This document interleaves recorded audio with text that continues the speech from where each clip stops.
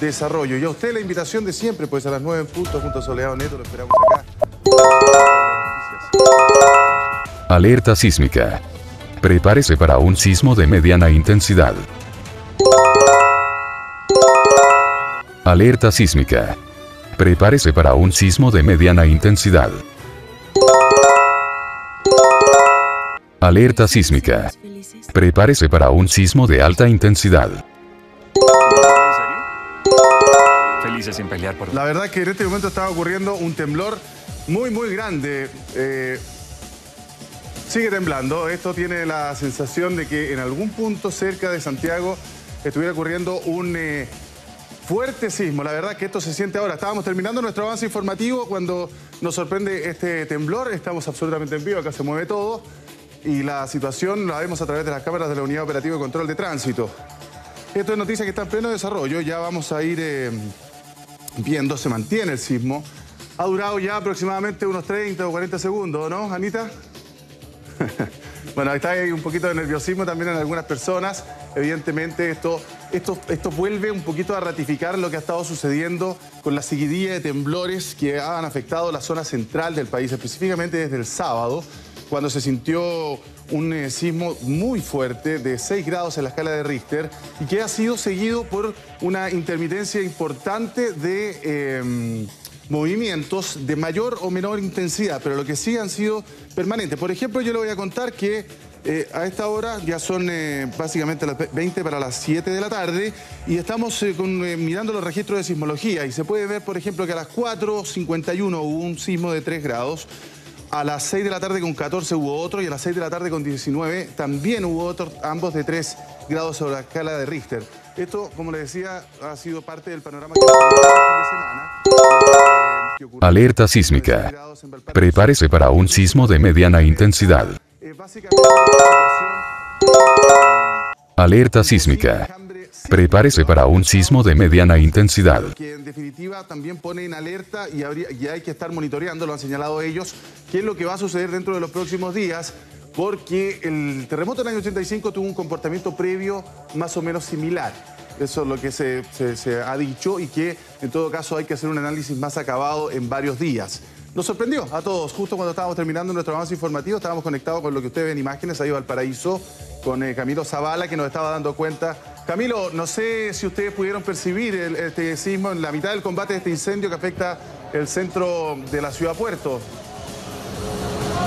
¿Pudieron percibirlo? ¿Se sintió? José Luis, exactamente. Terminamos, el despacho cuando te contábamos con respecto a este voraz incendio que está afectando aquí en Francia con Pedro Montt cuando de un momento a otro comenzó este temblor. Alerta sísmica.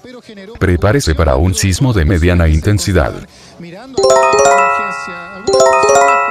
Alerta sísmica. Prepárese para un sismo de mediana intensidad.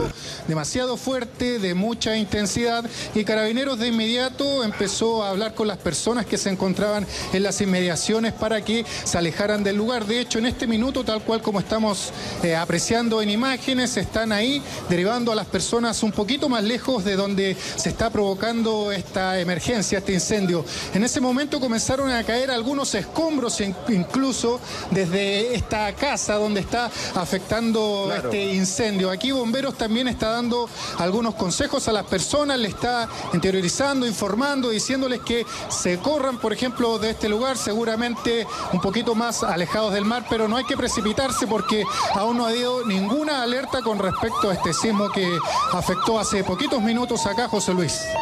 Sí, bueno, la verdad es que estábamos eh, ahí conectados con Camilo cuando de pronto, eh, en la mitad de esta cobertura que usted está viendo en pantalla, que es por un incendio que afecta a dos inmuebles bastante importantes en el pleno centro de Valparaíso, eh, ocurre este sismo que además termina de, por supuesto, generar algo de preocupación y un poco de pánico también en las personas que están ahí precisamente circulando por la calle y además viendo cómo bomberos sigue combatiendo este incendio, que por lo demás ya había mantenido eh, bastante daño, ha provocado, quien digo, en ese inmueble. Entonces lo que nos contaba Camilo es que las cosas que quedaron frágiles también comenzaron a amenazar a las personas que trabajan en la extinción de este incendio que está ahí en Avenida Francia con Victoria, según lo que nos informaba el propio gobernador de Valparaíso.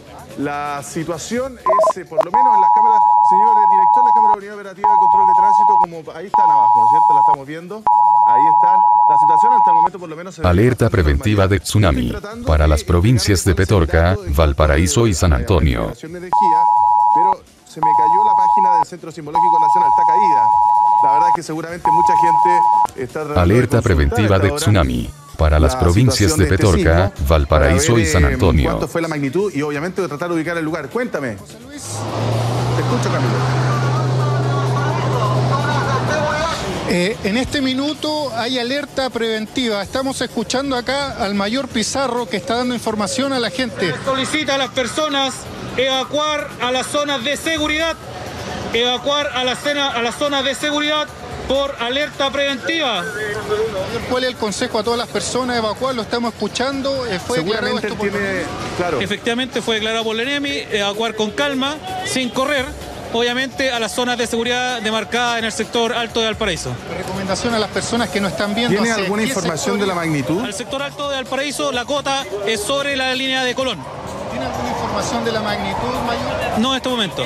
Solamente se está comunicando a las personas que hay una alerta preventiva al ONEMI y hay que evacuar a las zonas de seguridad. Comienza a sonar, no sé si me escuchan por Sí, sí, sí. el audio ambiente, Perfecto. la alerta, la alarma.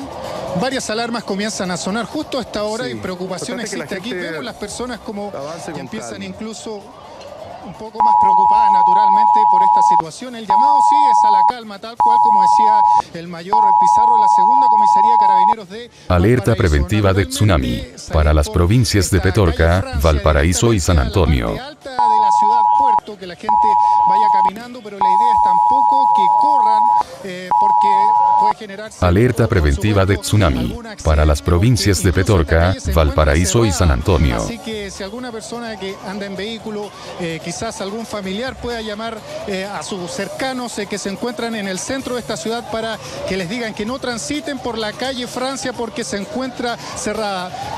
Peor aún, luego de este sismo que afectó acá en esta zona también, ah, todavía no se puede controlar este incendio que está afectando Mira, a este inmueble. Camilo. Por eso sigue trabajando personal de bomberos aquí en este lugar. Camilo, Sí, te escucho, eh, como Luis. se ha caído el Centro Sismológico Nacional, fui hasta la página web de la- del centro de, eh, claro, 6.7, 6,7 grados en la escala de Richter a 38 kilómetros al eh, este, al oeste, perdón, de Valparaíso. Es decir, eh, 6.7 grados es lo que entrega por lo menos el monitoreo que tienen desde los Estados Unidos.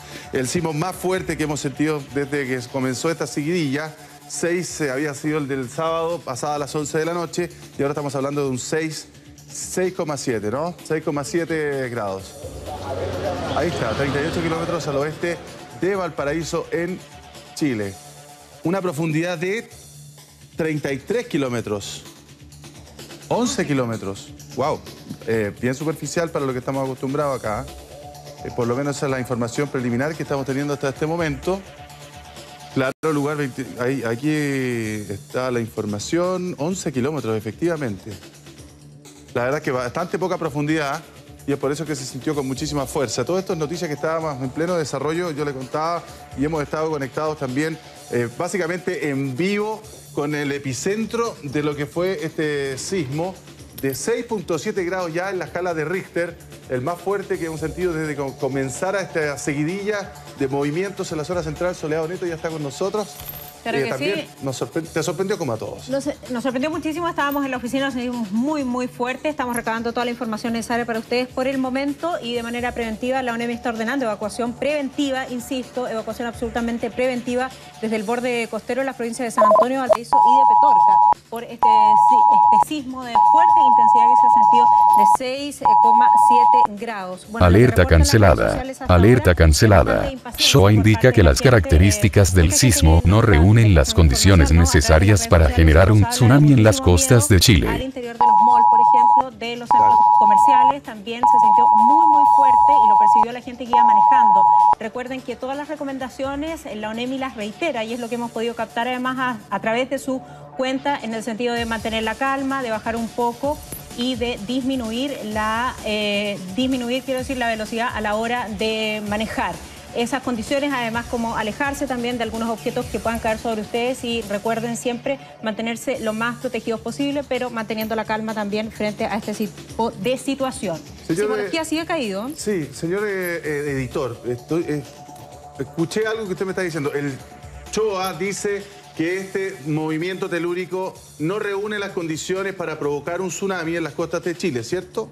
Sí. Es verdad. Esa es la, la- la información que estamos, como le digo, en pleno desarrollo. Entonces, esta es información que viene llegando por parte del CHOA, que es el organismo técnico encargado de entregar este tipo de información. Ahora, ¿por qué eh, Carabineros recibe la orden de eh, ayu- a- a- advertir a las personas? Es una evacuación preventiva lo que Sí. se hace. No es, no es una evacuación, digamos, eh, desde el punto de vista que eh, hay una alerta puntual de tsunami. No, es una evacuación preventiva por, en caso de que el CHOA, por ejemplo, eh, entregara una información distinta. Esto se hace solamente para ganar tiempo.